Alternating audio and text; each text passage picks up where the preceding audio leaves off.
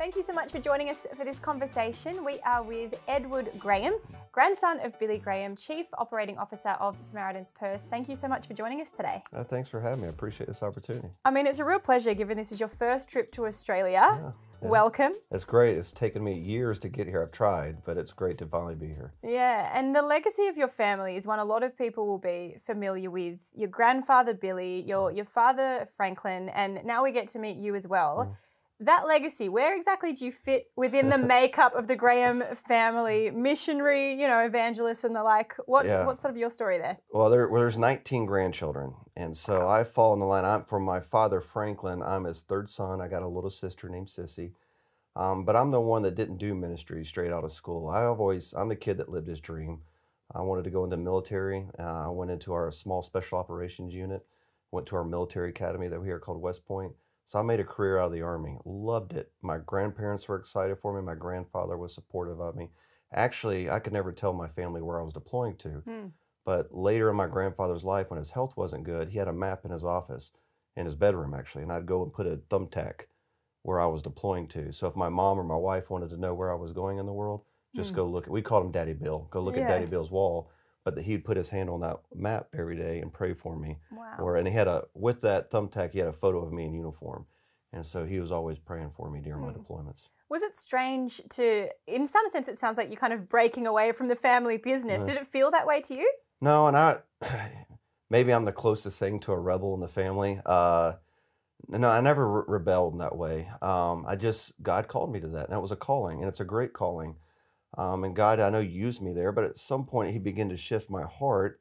But I was part of ministry there too. It's just mm. different. Um, I can't go and share my faith in front of a formation um, necessarily. We have rules against that in our military. I know the Australian probably military would look down on that. But when a guy knocked on the door and said, "Hey, sir, can we talk? My wife's leaving me. Hmm. Hey, sir, I know I'm drinking too much." And so when they knock at your door, you earn the right for the conversation. Then I can share my faith. Then that's a personal conversation. And yes, I'm still their commander, but I'm allowed to share my faith with them. And so God used me during that time, and then He slowly, I would say slowly, it was pretty quick and abrupt, but He changed my heart, and I left pretty fast. What was the trigger for that change of heart? Um, to be honest, when my grandfather passed away, um, there was the U.S. government honored him in our national rotunda, the Capitol. And when I was in there, we shake we shook hands for hours. Uh, people coming through line. I mean, there was thousands of people coming through there. And afterwards, I went downstairs, and of course, Dad's going to be tired. Mm at, during that whole week. Um, but he looked exhausted. And for the first time, and I hate saying this, but I realized in my mind, I was like, all right, dad's getting older. And I just, am I, what am I doing to help serve him and to serve the ministry?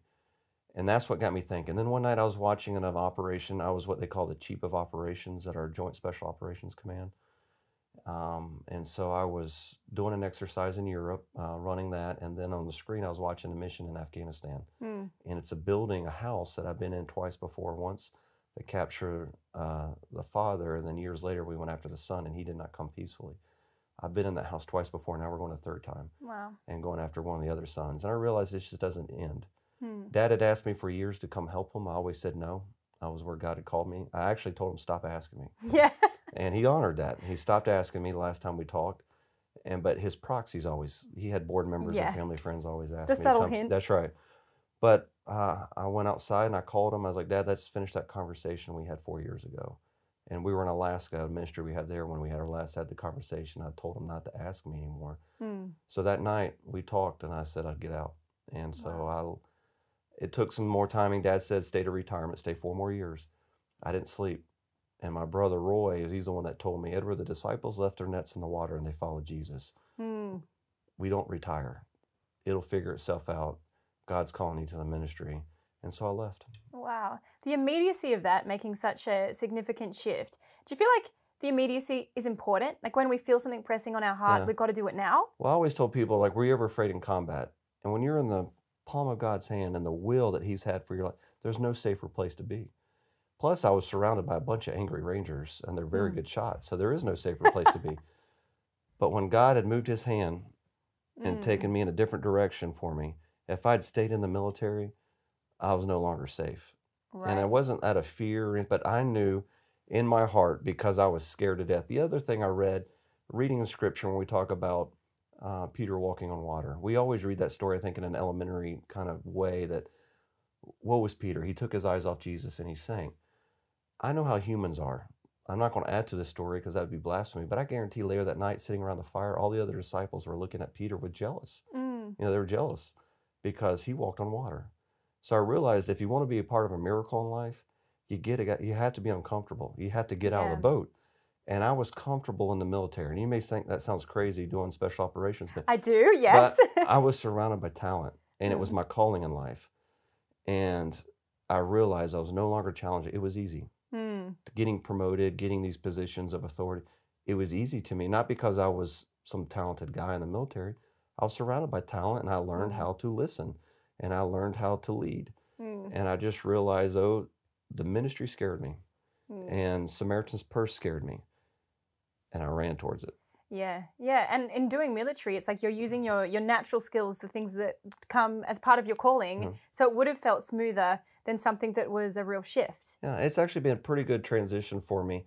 I mean, I've learned a lot and I'm still learning, but there's a lot of things that are very familiar to me. So, in the military, I was in a special operations min- uh, uh, mission unit where you could get blown out within a couple hours. Like we had, we took turns, but you really had a 30 minute recall that you had to be back into your headquarters, getting your gear, and going out the door. And it's a weird feeling when you're getting your equipment and you're rolling out. Mm. Um, and now, when there's a disaster around the world, it's actually very similar. We have teams on call, ready to go. We can load up our cargo aircraft, our, our plane that we have there in the US, and we can have a hospital anywhere in the world within about 36 hours. Yeah. A lot of that seems very similar and familiar. It's Mm. all about logistics, planning, relationships with people, with relationships with the church, um, going in boldly, knowing that you've trained and prepared and that God's going to go before. It's really not any different. Mm. So I, I enjoy it. It's a lot of fun. I miss my guys from my previous life. I thought I would never be surrounded by talent like that again. Oh, God proved me wrong quick. He humbled Mm. me. There's so much talent in the ministry. Then I call it slumming for Jesus. There's so many people that you will meet out there that could be making a great fortune in the regular world, in the business Mm. world, but they feel called to ministry, and that's where God's brought them. Mm, And in the similarity between the two, I feel like in one context, when you're getting ready and you're going out, there's, I would assume, a level of like, there's, there's fear and there's fight in that. When you translate that into the world of Samaritan's Purse, you're going to rescue, support. And in some respects, I would assume there is a bit of fight because it can be disaster situations, there can be a lot going on. Is that a distinction that you feel between like a fear and a fight and a, and a rescue and a support mentality? Well, I look at it um, kind of this way. Bob Pierce is the man that founded Samaritan's Purse. He originally was the founder of World Vision. A lot of people know of World Vision. He left it and he believed he didn't want to take grants. He wanted to be built off the widow's mite. But he always said two things. I didn't know him. He died before he died of cancer before I was born, and he had asked my dad to take over. Um, and it was a it was an organization of four employees. Then it was Bob Wow. And four. And then when Dad took over, it was in Hollywood, California. Dad didn't want to raise a family in Hollywood moved it to the mountains of North Carolina, so the four secretaries quit. So when Dad took over as an organization of one, Wow. um, but he always said, "Let your heart be broken and pierced by the things that break the heart of Jesus Christ."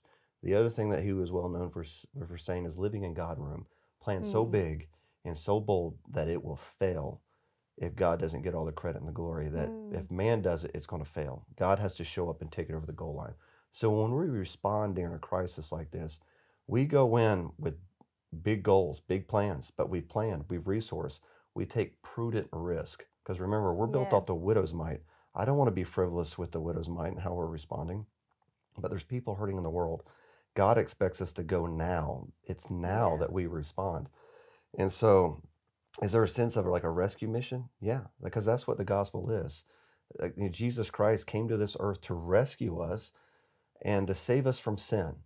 And I want the whole world to know that Jesus loves them, that Mm. Jesus has not forsaken them, has not forgotten about them. He died on a cross.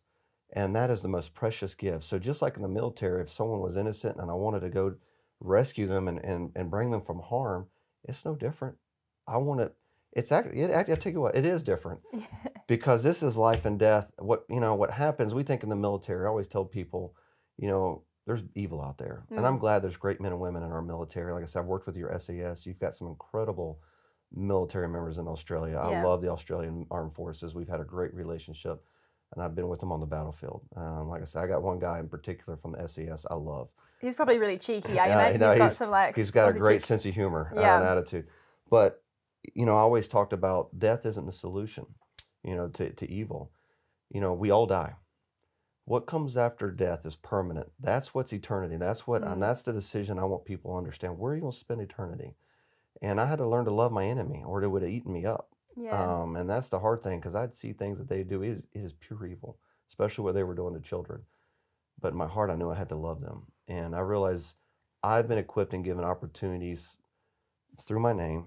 There, you know, being a Graham and having this nose and chin, it can only open the door so much. Um, but then, what am I going to do with the opportunity God's given me in the Mm. platform of Samaritan's Purse? And that's what I realized I had to leave. And uh, maybe the doors were open for me somewhere else where I could do more for a kingdom that lasts forever. Mm, It is a big legacy that you've inherited, that you're part of. Is that something that has ever felt like a pressure, like you've got a responsibility to live up to it, or not so much? No, um, now I grew up in a small town in the mountains of North Carolina, and so I was in a community where if I got in a fight, everybody, like my mom, knew about it. Um, if I skipped school, my mama knew about it. Um, so you couldn't get away with much. Mm, I was okay with that. I mean, I it's part of being in a small town, anyways. Um, but I never, dad and mom never put pressure on me, and like I said, they supported my military career. Now, dad didn't like it later in life; he wanted me out mm, um, but they supported me. But my name is Edward Graham. My brother is William Franklin Graham the fourth. Wow. Uh, so yeah. I would say he has more pressure.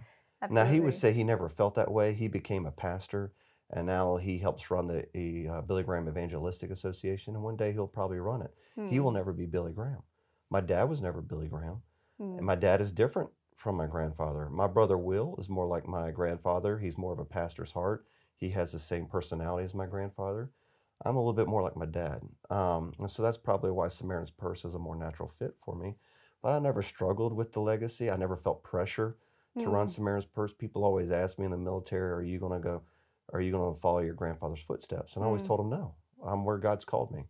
Yeah. But I think the best legacy my grandfather could ever give me is one day we were watching the news and he held up his Bible and he looked at me and goes, Edward, I don't understand every word of it, but I Hmm. accept by faith that every word of it's true.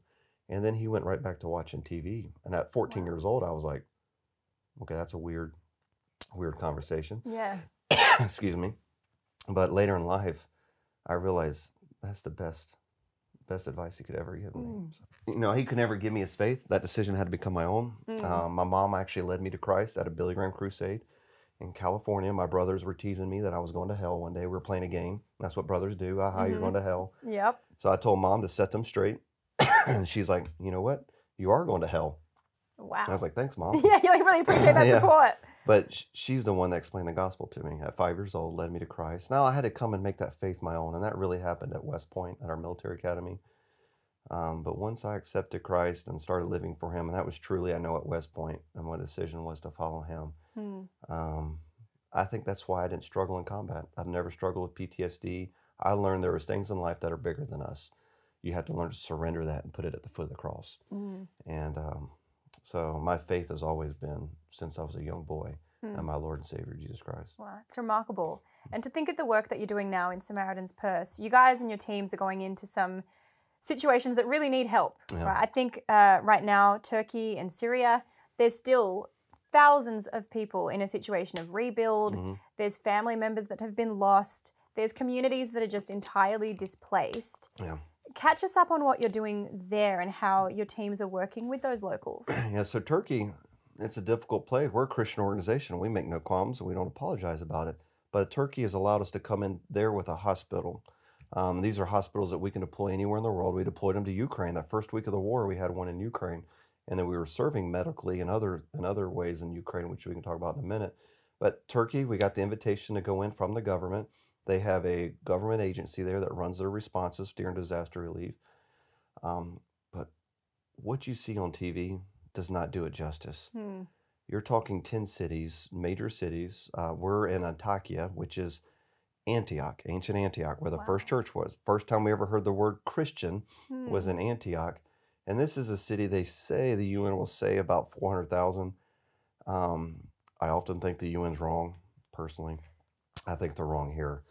There's probably a million people crammed into the city. Hmm. Um, it may be built for 400,000, but every building is either crumbs or it's so badly damaged it's leaning over, they're going to bulldoze probably 90% of the downtown area. Yeah. Um, it is sad. It's devastating. And so we're set up in a, the old hospital there, which is a new modern looking building, but it's falling down. No one's in it. Hmm. And we have a tent hospital set up. Um, that f- I was there the first week of the earthquake, and you had four Australian team members, our dis- disaster assistant response team, and they were nurses. They're serving boldly, and they Yeah. were doing a great job, incredible job. And um, but it's amazing. We watched a lot of Syrian refugees come in because you're right there on the border, and so there were a lot of displaced Syrians there. And we had this woman that came in with a little boy, and he wasn't breathing well. Um, he was dying. I mean, his oxygen levels got down to like 40, and that is Yeah. that's low. Um, and so we took turns holding him through the night to keep his because he had to stay up a certain level. We had oxygen going and pumped into him. But I watched these nurses and doctors, and even the the the build team, as we call them, the people that set up the tents and the construction guys. They were in there all Mm. taking turns to love this child to get it back up to where it could be stable to be airlifted. Um, but as the mother came up to me, and in this culture, sparing the Syrian culture, her husband's not there with her. They're back with the with the other kids, and she comes up crying and squeezes me. Hmm. And I've been in the Middle East most of my adult life. That is not normal. Yeah. And she just, through the interpreter, was saying, Thank you, thank you. No one else would love my child. And uh, y'all are here to love my child. And am I going to be able to share the gospel there in the Muslim world open? No. Um, but the expectation, the calling is that medicine is a magnet for the gospel. People are hurting. The name of Samaritan's Purse is we meet the people in their immediate needs um, where they are in the ditch. And so, just like the story of the Good Samaritan, you meet the medical needs, you bandage, you give them water, you give them transportation. But the most important part of that story is a debt was paid. The Hmm. debt is the blood of Jesus Christ. And eventually we'll be able to share. And we, our doctors are prepared. We do share. We do, we do pray. Um, we do have chaplains involved in the program there in the hospitals. But this is going to transition more beyond that. We've already begun uh, a few weeks ago, even when I was there, a shelter program. There's so many people that don't have homes. Hmm. That was being controlled at the government level, but the vice president of their disaster relief was struggling. A lot of people are having lung issues there right now because of the dust. He came in to get treated at our hospital and he saw what we could do with what we call WASH, clean water. To have a hospital, it's power and water, Hmm. and we, we provide all that internally. And so he's like, Can you do this at a mass scale and can you do shelter? And we're like, Oh, yeah. So the tents that they already, that the government was purchasing, we had the same stent, tents and storage Hmm. back in the U.S. and our warehouses. So we loaded up our aircraft, came forward. Now we're involved in the shelter program. Yeah. So to be a Christian organization involved in sheltering displaced people in Turkey is incredible. But that is a testament to the church and the church part. We're not registered there. Hmm. We're working through a local partner, a church partner called First Hope, and they're bold and they're on fire and they're tired. They've responded Yeah. since the beginning. These are Turkish men and women that have responded since the start of the earthquake to love their neighbors. And it's a long term, and if you've been into the Muslim world, it is a long term commitment. You have to be friends with that that person. You have to Mhm. show them you love them. You have to serve them. And it's years later they'll ask a question. Jesus wasn't a prophet Yeah. and that will get the conversation. So really, we're an extension of the church there. We're just supporting them. So years down the road, they'll remember it was a church that loved them. Same thing in Mm. Ukraine. When this war is over, the Ukrainians will know that it was a church that housed and fed and clothed them. Yeah, and there'll be so many incredible stories to come Yeah. from that, the one you just shared, and Mm. then so many others. And I wonder though, how do you know when to leave these places? Yeah. Because they fall out of the headlines fairly quickly. when do your teams get out? Yeah. So it has nothing to do with the headlines at Samaritan's Purse. Um, and that's true in our U.S. disaster because we respond here in tornadoes and hurricanes. Uh, last, so it was a year ago at Christmas, a massive tornado destroyed a downtown city in Kentucky and just destroyed all of it. We're still there, sir. Everyone else is gone, but we're still building homes for the non-insured and underinsured families there, and putting them back into. And we're we're going to be there for another six to eight months as we finish these communities, building about hundred homes in this community alone. Uh, and with the hospital there, we'll serve until the government of Turkey no longer needs us and they're able to get their feet back under them.